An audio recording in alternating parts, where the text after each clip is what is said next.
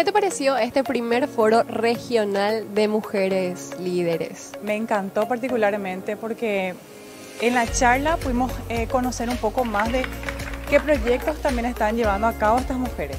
Más allá de eso, también las expositoras, las auspiciantes, ¿verdad? Conocer un poco su trabajo y que aparte es de buenísima calidad. Fuimos comunicarnos entre nosotras las mujeres, ¿verdad? Crear más también un lazo como para, para ir después, más allá de, este evento, eh, continuar trabajando juntas. Ojalá el próximo año se vuelva a hacer y vuelva a tener tanta gente, tantas mujeres eh, como este año. Me encantó realmente. ¿Qué está pareciendo este primer foro regional eh, de mujeres? Estupendo, estupendo porque realmente lo que más me gustó de esto es que todas las disertantes habló del empoderamiento de la mujer, ¿sí?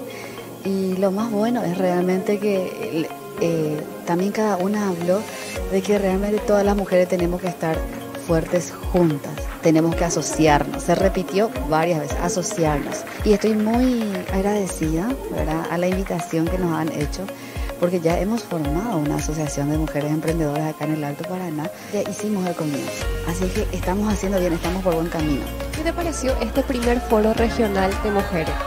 Súper interesante, muchísimos temas muy importantes, sobre todo se habló mucho del empoderamiento de la mujer, de todo lo que podemos hacer todavía, estamos empezando, hay muchísimo por hacer y eso nos da fuerza, son temas apasionantes, son muchísimas oportunidades para las mujeres y ver también todo lo que se está haciendo desde las organizaciones. Me pareció importantísimo para todas. Se enfocó mucho en el tema de asociarnos, de, ser más fuertes si nos unimos y de conocernos y a través de eso poder sumar un poquito también en las organizaciones, todas juntas, poner cada una nuestro granito de arena.